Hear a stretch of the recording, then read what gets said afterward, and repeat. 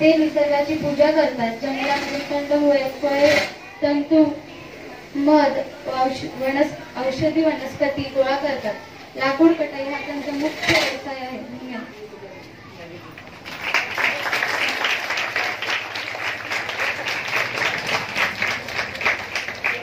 Good morning everyone. My name is Varun Kiran Musare and I am studying Standard 7. Today we all are gathered here to celebrate World Indigenous Day. This day is celebrated due to the great valor of Birsa Munda. Birsa Munda was born on 15 November 1875 and was an Indian tribal freedom fighter, a religious leader and a folk hero. He created a millenarian movement Colonial rule in India. He was born in the village of Ulihatu in Ranchi district in today's Jharkhand.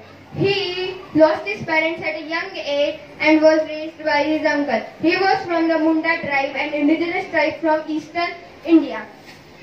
he was the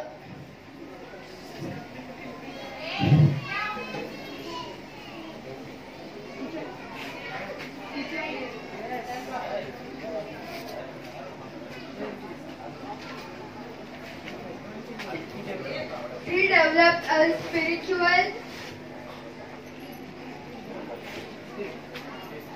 He developed a deep understanding of tribal culture, mythology and spirituality and has claimed to have received visions from the god which has guided his actions. He founded the Bilaset movement, a syncretic religion that combined elements of tribal culture, Hinduism and Christianity. He led a rebellion against the British colonial rule and he fought for the forced labor, land grabbing and cultural suppression. He encouraged the tribals to take their ancestral lands and re- resist British colonial rule.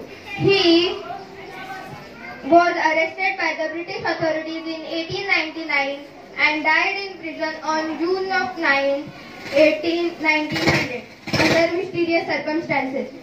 He was called the hero and martyr in English in Indian history and was an inspiration to the future generations of tribal leaders and freedom fighters. Thank you.